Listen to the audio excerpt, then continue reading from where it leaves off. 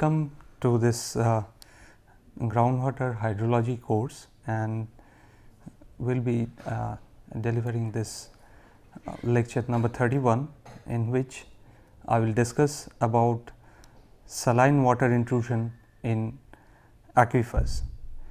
So, this is lecture number 31 and our main topic is saline water intrusion in aquifers. And topics to be covered under this particular lecture class are occurrence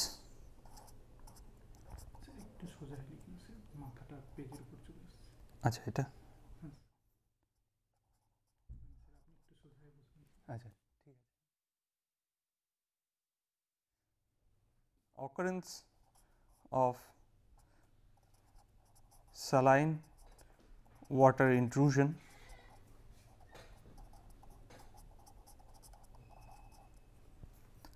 second is features affecting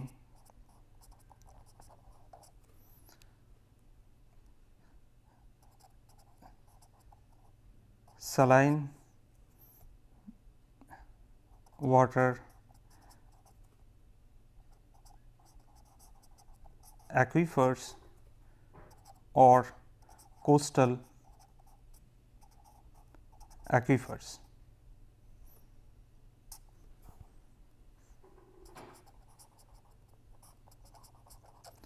And third one is Badon, Ghyben, Herzberg principle. So, first thing uh, what is this saline water intrusion? What is this saline water intrusion? Saline water intrusion is defined by uh, Freeze and Cherry as the migration of salt water into fresh water aquifer under uh, influence of groundwater development. So, this is basically uh, defined as defined as defined as migration of uh, migration of saline water into fresh water aquifer under the influence of groundwater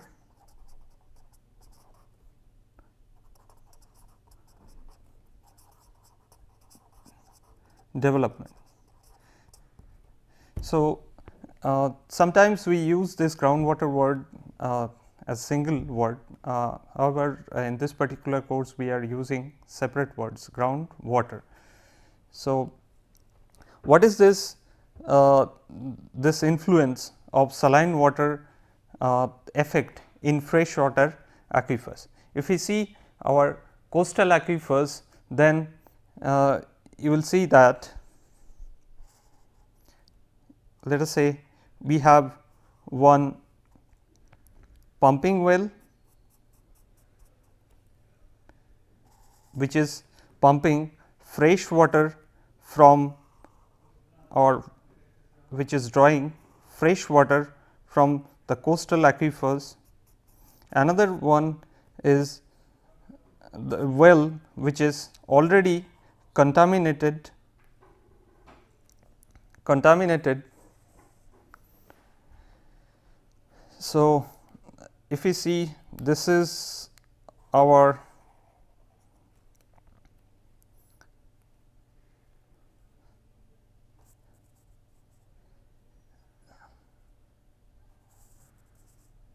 effective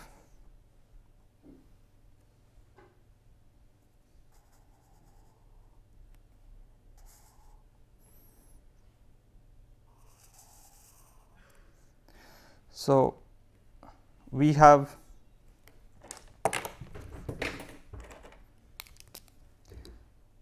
groundwater table located here and this is our ground surface. So, this particular well is pumping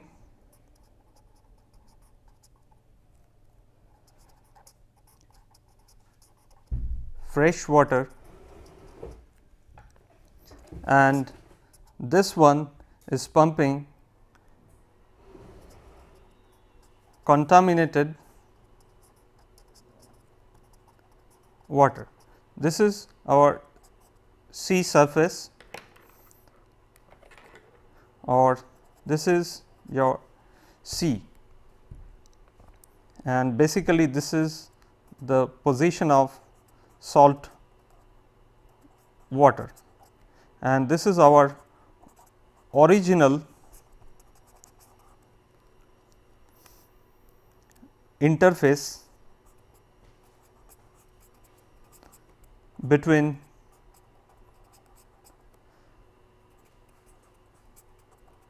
salt water and fresh water freshwater aquifer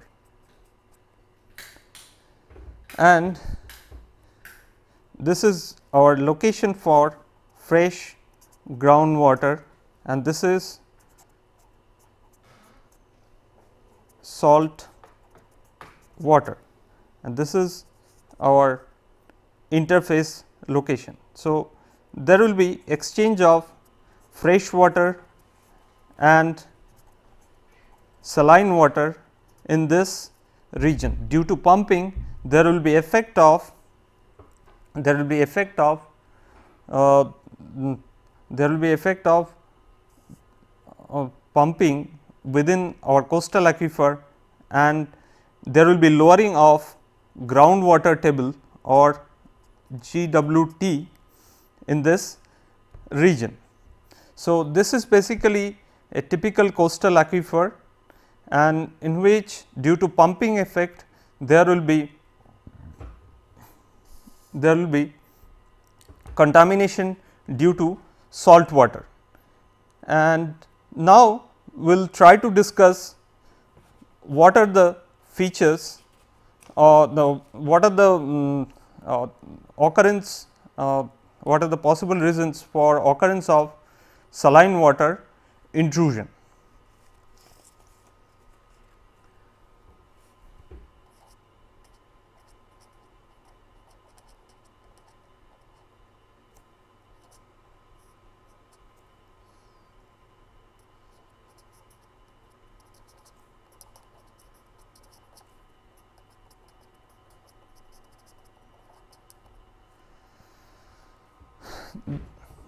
There are three mechanisms which are responsible for occurrence of saline water intrusion. First one is reduction or reversal of gradient. General uh, perception is that there will be flow from uh, freshwater aquifer towards the sea, but when uh, we have higher pumping uh, case in the freshwater region, there will be reversal of gradient in that particular case. Second one is uh, this is basically destruction of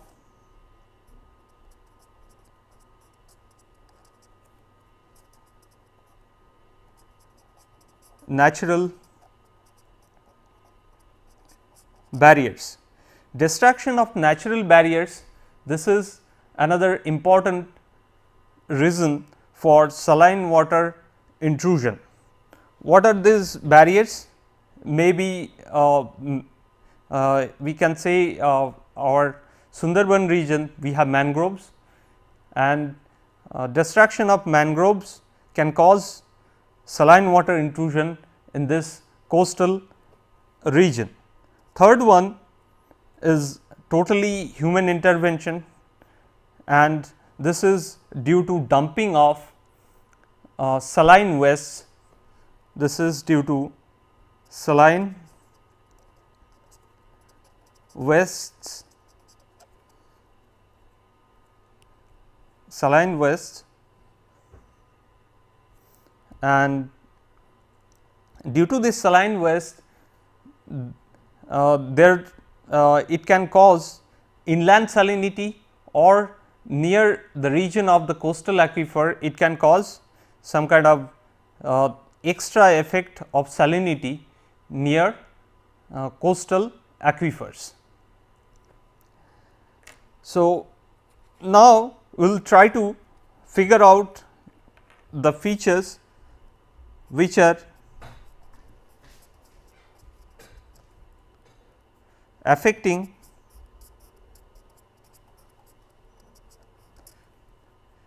saline water aquifers or coastal aquifers. Saline water aquifers or coastal aquifers. So, first one we can say this is due to human activities. Human activities. What are these human activities? First one we can say that groundwater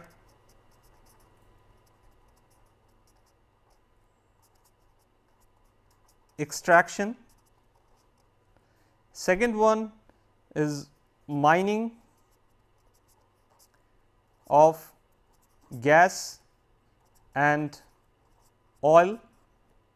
Second one uh, and is mining of gas and oil. Third one is lowering of groundwater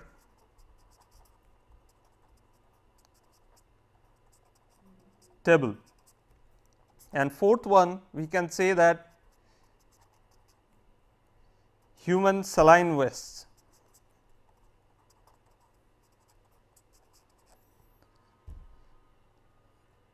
So, what is this groundwater extraction? What is this groundwater extraction? Let us say that we have some city well filled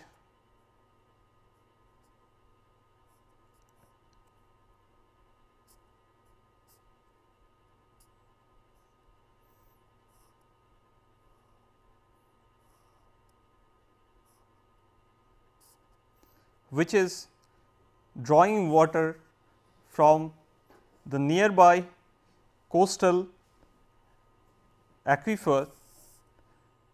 And this is our ocean. And this is saline.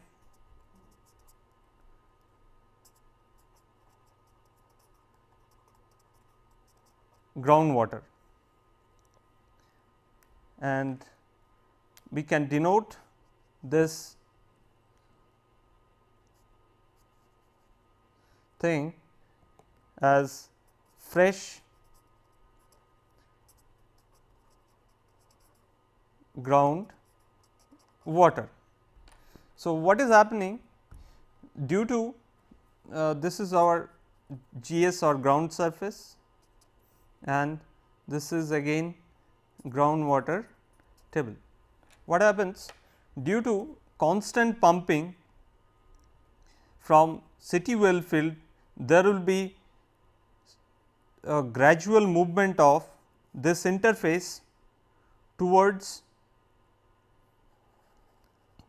this wells and finally if this well uh, these wells draw significant amount of water from this freshwater aquifers it can cause saline water intrusion in groundwater aquifer. So, we can say that pumping is a responsible uh, point for uh, saline water intrusion or uh, an important feature for uh, this effect in freshwater aquifer for coastal uh, um, coastal regions.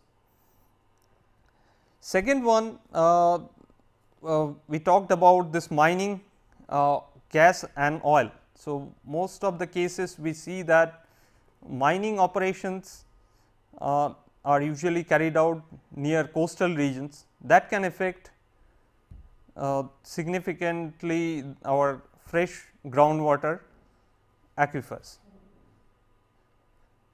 Uh, third one is lowering of groundwater table. There may be uh, different causes due to which they there can be lowering of lowering of ground water table.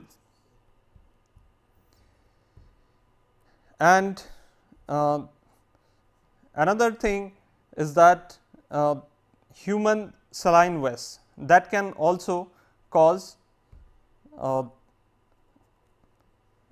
saline water intrusion in coastal aquifers.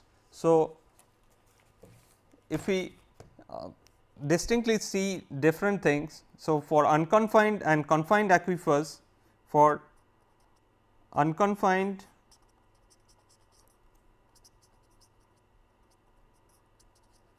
aquifers we can have different situations. First one is your bed condition which is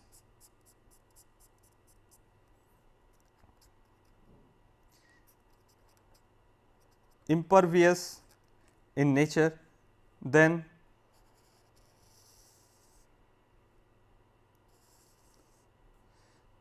this is sea level and natural recharge or natural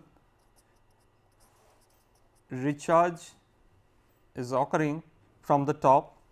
This is our groundwater table or GWT this is our GS or ground surface. So,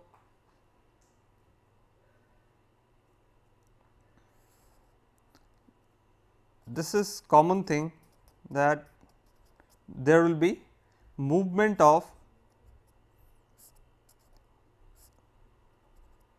water from fresh water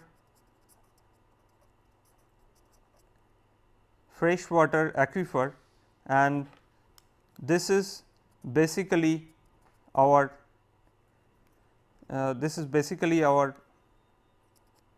interface location. Second case uh, if we have some kind of confined uh, aquifer situation. This is again impervious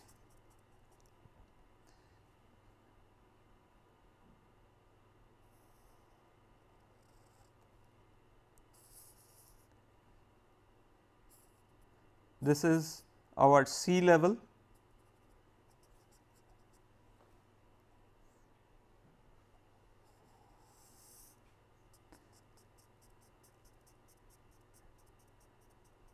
another impervious region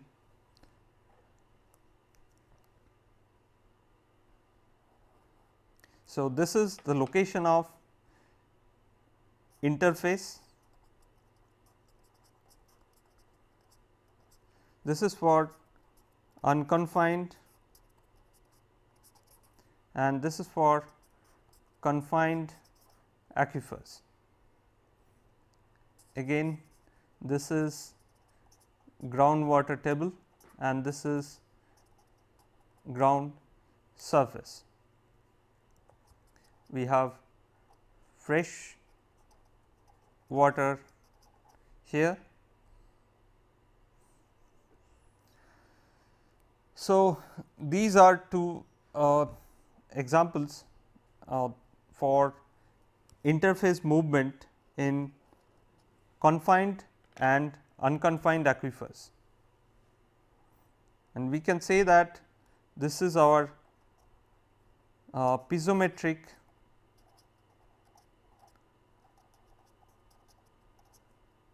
surface, piezometric surface for unconfined uh, confined aquifers. Another situation we can have that is island situation that is for island aquifers.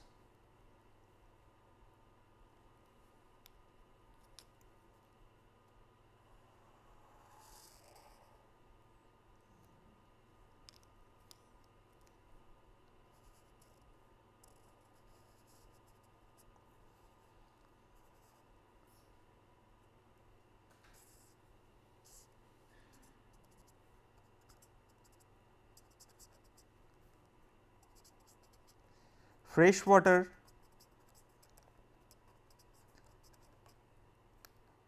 interestingly for island aquifers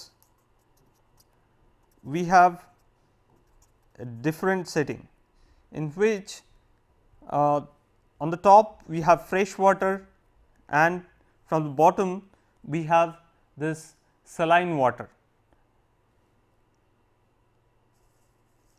And this is our normal groundwater table. And in islands only uh, source of water or fresh water is natural recharge. Natural recharge is the only source of water. So, these are uh, for unconfined, confined and for island aquifers. Uh, in these cases we have considered a sharp interface between our fresh water and sea water or uh, ocean water. In reality this sharp interface uh, does not exist. This is basically our uh, one kind of approximation to real world problem. Uh, what exists in reality is some kind of diffuse interface. In fresh water we have less density and in case of sea water we have high density. So, uh, there exists some kind of density gradient between this uh, fresh water to sea water region and in between we will have some kind of diffuse uh, region or diffused interface uh, position. So, uh, we can say this region as transition zone.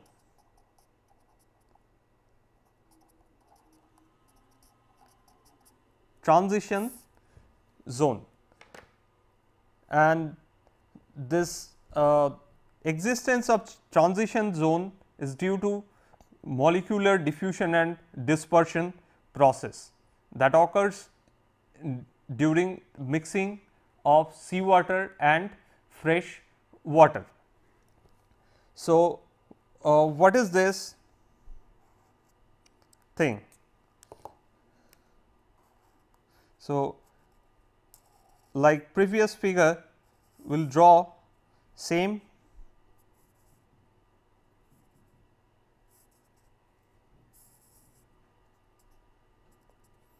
So, this is our sea region and this is our phreatic surface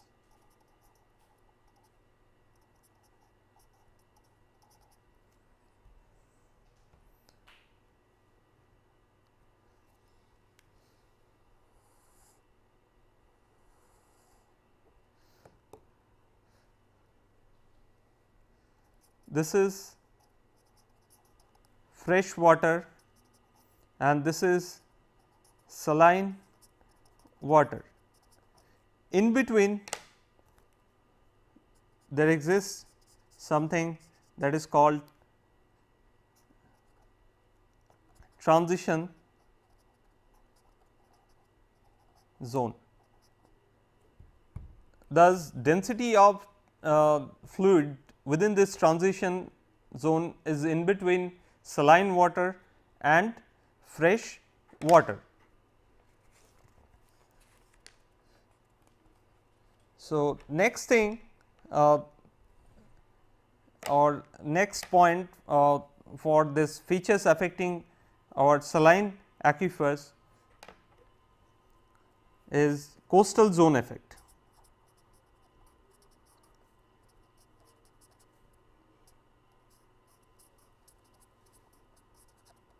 In coastal zone effects, we have coastal uh, coastal erosion process.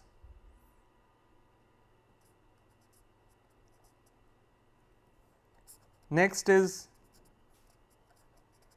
shoreline retreat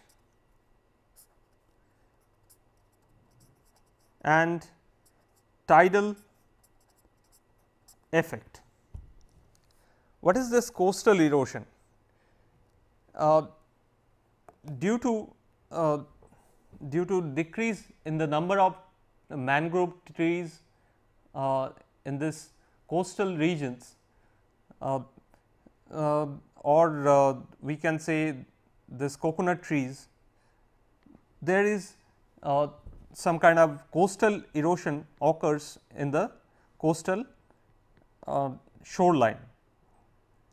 And due to that coastal uh, erosion is one important thing that affects our saline uh, water intrusion in coastal aquifers. Next one is this shoreline retreat. Shoreline retreat is a common problem and one example of this is uh, Cape Hatteras, uh, this lighthouse in US that has uh, been shifted uh, uh, towards inland uh, somewhat 2870 feet 200 and, 200 and, 2870 feet inland due to this shoreline retreat effect. And third one is tidal effect, tidal effect or wave effect. This tidal effect or wave effect is uh, generally generated uh, due to water waves and uh, during tsunami or high water wave or natural tidal fluctuations there will be some kind of effect within the coastal aquifers. So, what are the influencing things uh, during this process?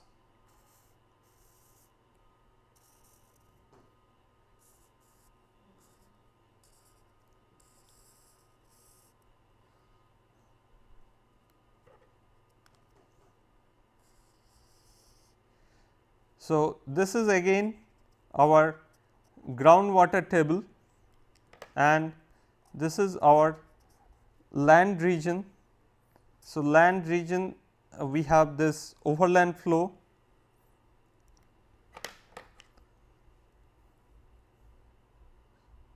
And from ocean we can have some kind of wavy effect wavy effect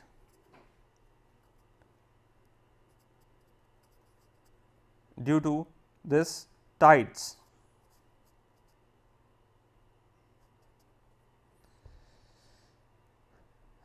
And for this fresh water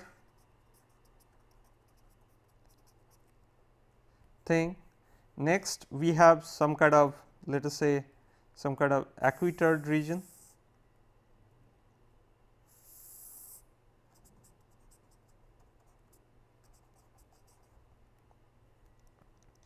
and finally,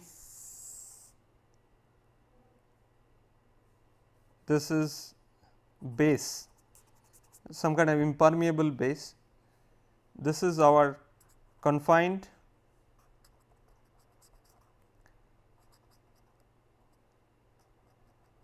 aquifer and fresh water comes from some upstream side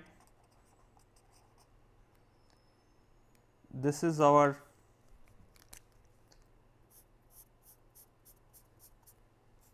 aquitard, this is our base. So, there will be intrusion of brackish water and there will be interaction between fresh water and this brackish water. and flow is generally towards sea. So, what are the other things we have? Uh, if we denote C as convection H as hydraulic head T as tidal pumping and W as wave setup. Then we can show that uh, there will be discharge from the fresh water towards the sea due to these four components, these four components. One is directly this is wave setup, next one is due to hydraulic head and we have this tidal effect which is occurring near to uh, this interface between aquifer and sea. And our convection process that occurs in this brackish brackish water or in this region brackish water region and also some kind of tidal pumping setup that occurs in this region. Similarly, for confined aquifer this is our unconfined aquifer and this is our confined one.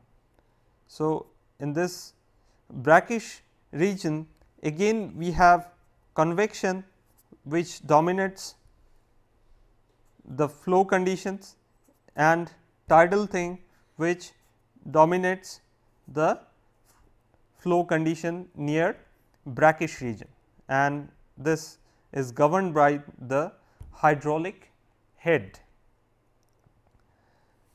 So, next feature that is affecting saline water intrusion is sea level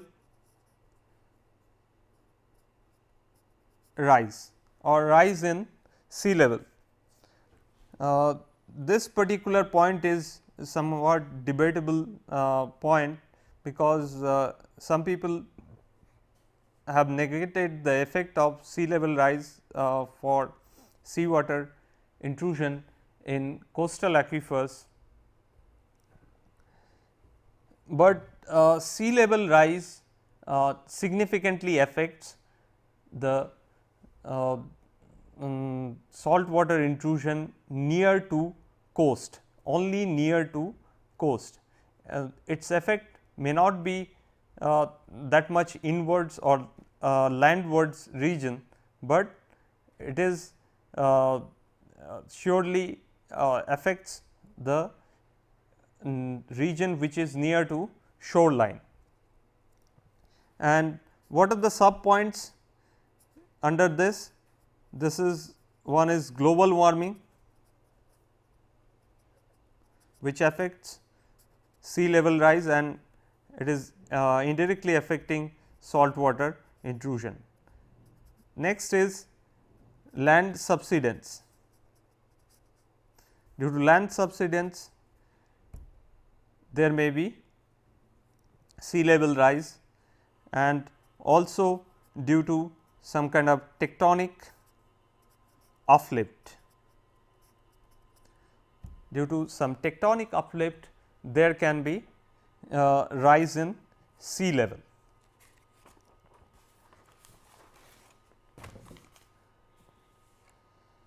So, uh, next point is changes in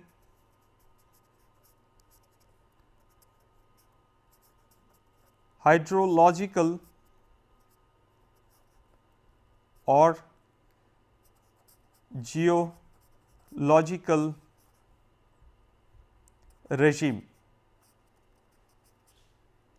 Hydrological or geological regime. Uh, individual points we can discuss under this thing is changes in natural recharge,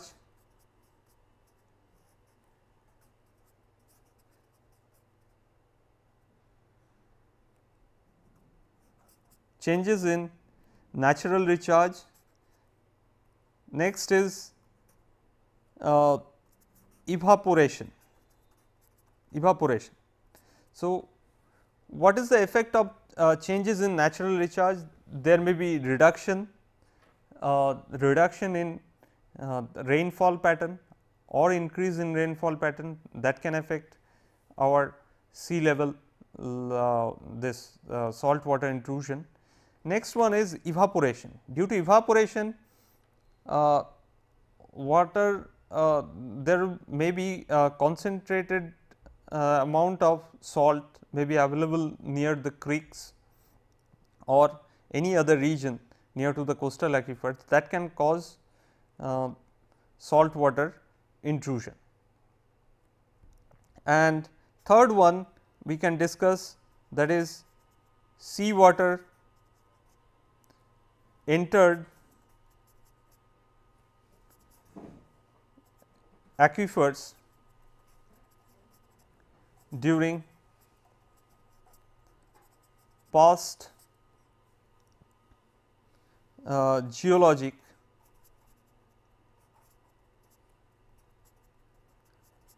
time. So, uh, seawater that is that has already entered in the lower aquifers or deeper aquifers during past geologic time that can significantly uh, affect uh, our inland salinity part, inland salinity or near to the coast also.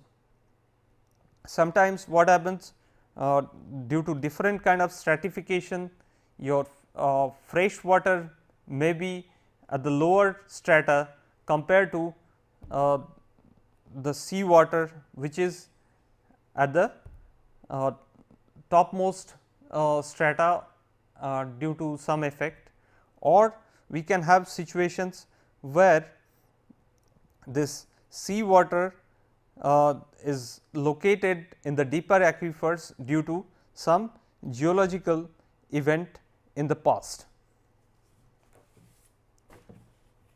And uh, last point under this particular thing is effect of river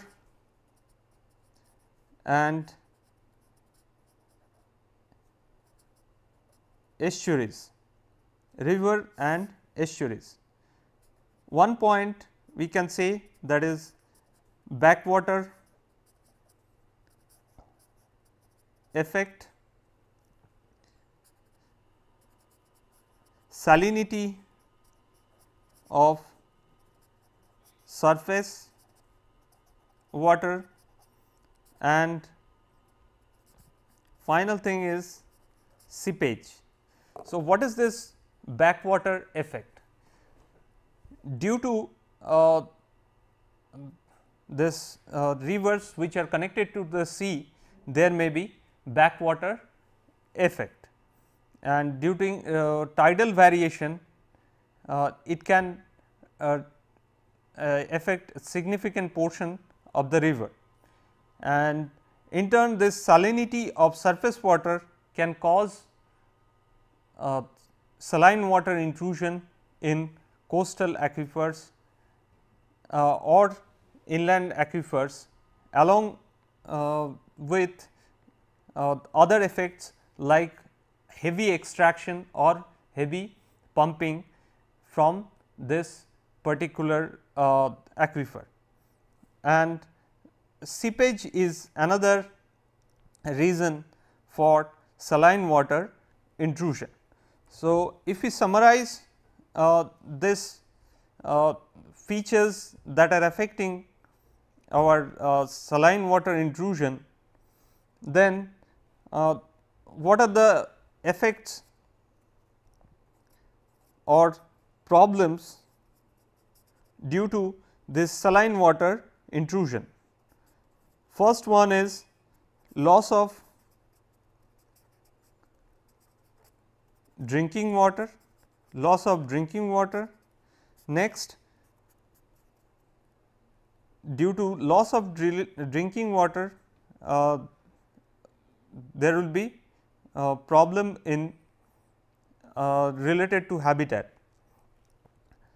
Next is increase in soil salinity. Due to increase in soil salinity, there may be problem related to uh, agriculture.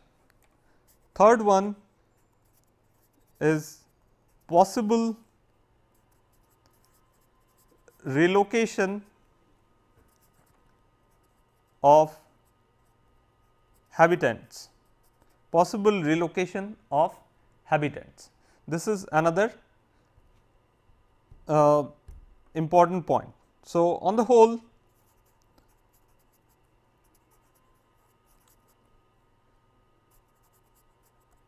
serious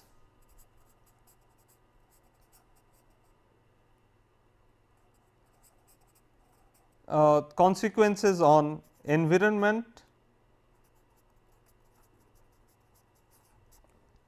ecology and economy of that region. So,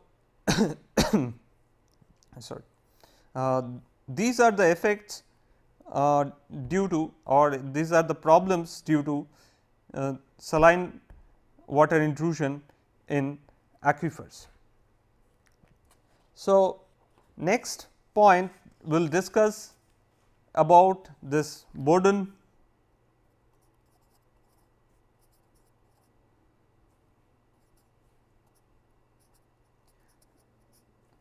Ghyben Herzberg principle. So, this is the most simple approximation of the interface for modeling the saline water intrusion in coastal aquifers.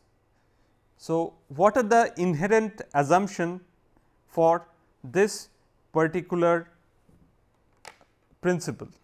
First one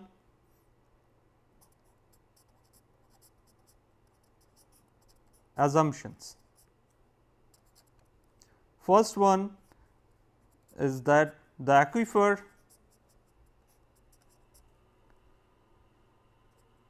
is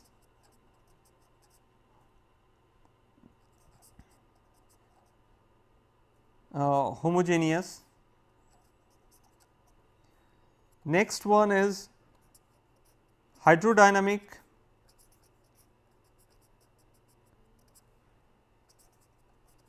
dispersion is negligible.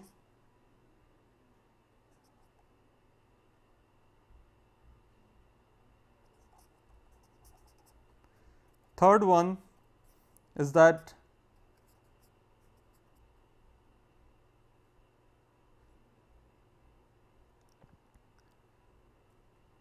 vertical uh, the third one is that saline water saline groundwater is at rest. Saline groundwater is at rest. So, to derive this thing uh, we can use uh, we can use our uh, hydrostatic principles of fluid mechanics and we can directly employ those uh, pressure related relationships for derivation of Badon Ghyben Herzberg principle. So, uh, first we can sketch our geometry. So, that is this is our ocean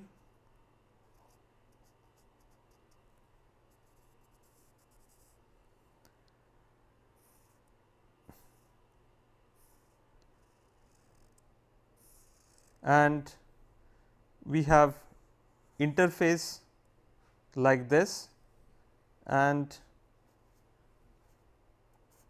this is our impermeable base.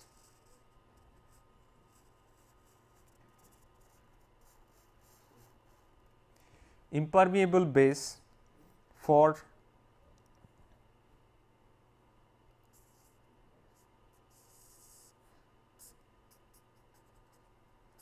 this problem. This is ground surface, this is groundwater table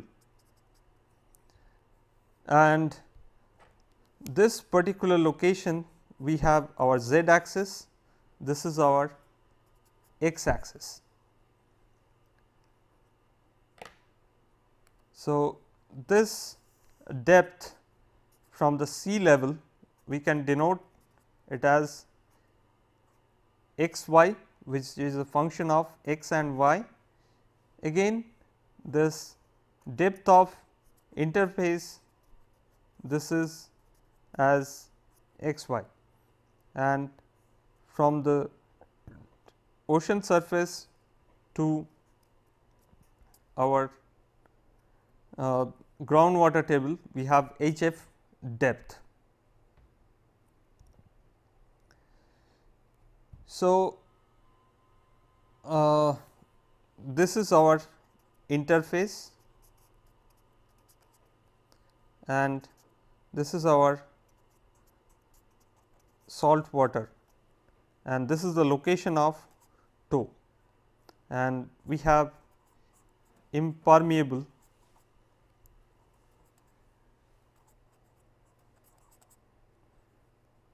impermeable bottom.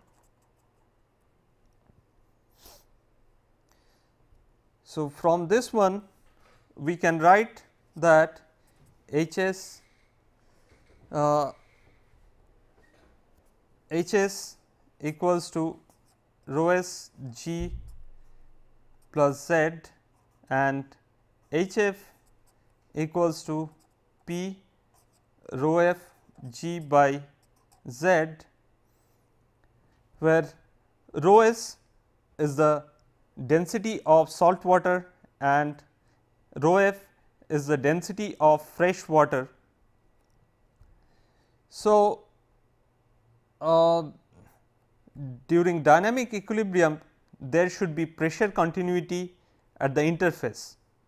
So, what we can do we can equate the pressure from these two equations and if we equate the pressure from these two equations we can directly write H f rho s H s plus rho s minus f. So, what is this?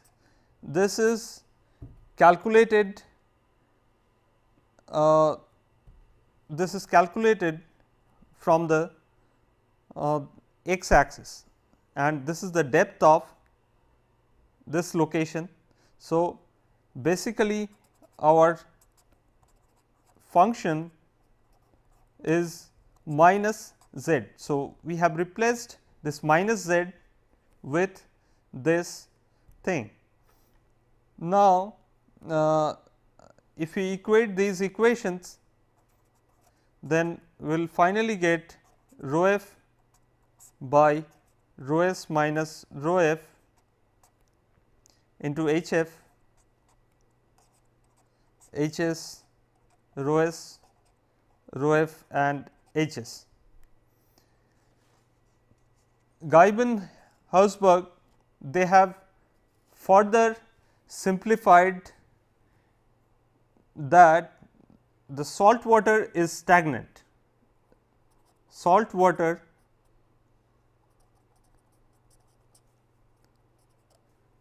is stagnant thus uh, we can directly use hydrostatic principles and rho s g. We can directly write it. So, further from our previous equation we can write that rho f by rho s minus rho f into h f. If we consider our rho f equals to 1 gram per centimeter cube and rho s as 1.025 gram per centimeter cube, then we will see that this value is approximately 40 times H f. So, we can say that for every meter of fresh water above mean sea level the thickness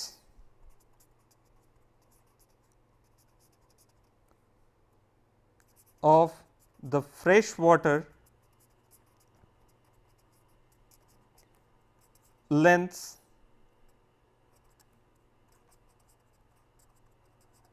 resting on salt water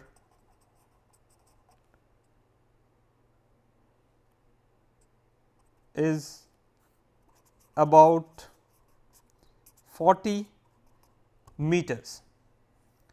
So, we can see that for every meter of fresh water above mean sea level the thickness of fresh water lens resting on salt water is about 40 meters. And for this Ghyben Herzberg principle uh, it is mandatory that you should have some depth above uh, mean sea level. Otherwise, there will be reversal of flow from this region. So, uh, uh, we can say that uh, this is one important uh, historical development for saline water intrusion uh, saline water intrusion measurement and it depends on sharp interface uh, principles. So, today's lecture uh, we are concluding with this Ghyben-Herzberg principle. Next uh, lecture we will discuss the application of Ghyben-Herzberg principle for identification of uh, saltwater intrusion in coastal region. Thank you.